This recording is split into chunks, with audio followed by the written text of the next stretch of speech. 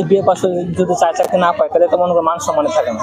গ্রামে তো এলাকাতে তো একটা সম্মান আছে সম্মানটুকুও থাকে না। তা তো অবশ্যই। অনেক কষ্ট করে বাবা মা পড়াশোনা করাইছে তো আপাতত দেখলাম জমি জমা বিক্রি করে তবে পড়াইছে। আমাকে তো অনেক কষ্ট করে পড়াইছে কিন্তু মানে চাকরি হইতেছে না।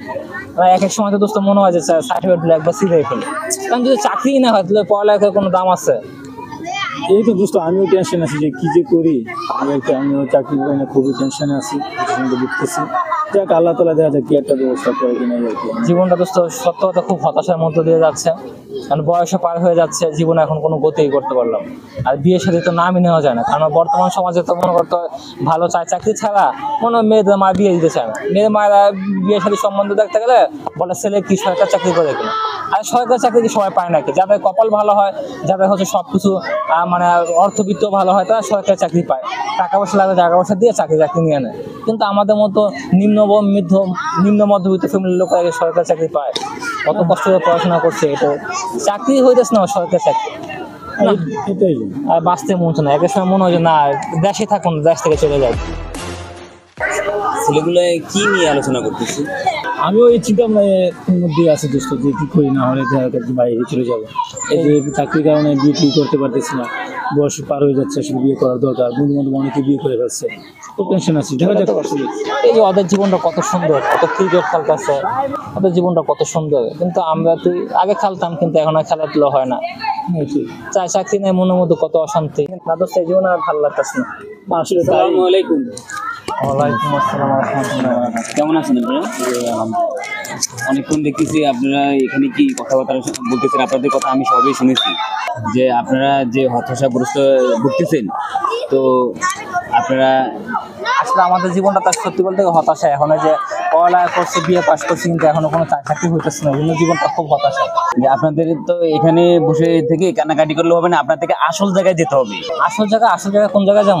আসল জায়গা বলতে আল্লাহর গড় মসজিদ। ওখানে যে আপনারা নামাজ কালাম করেন আল্লাহর কাছে চান তাহলে অবশ্যই আল্লাহ আপনাদের কথা শুনবে একটা ব্যবস্থা হবে। আল্লাহর গড় মসজিদে যায় কান্নাকাটি করেন এবং আপনাদের চাকরি কি মনের দুঃখ, কষ্ট দুর্দশা এগুলো চান, অবশ্যই আল্লাহ তালা একটা আপনাদের ব্যবস্থা করে দিবে।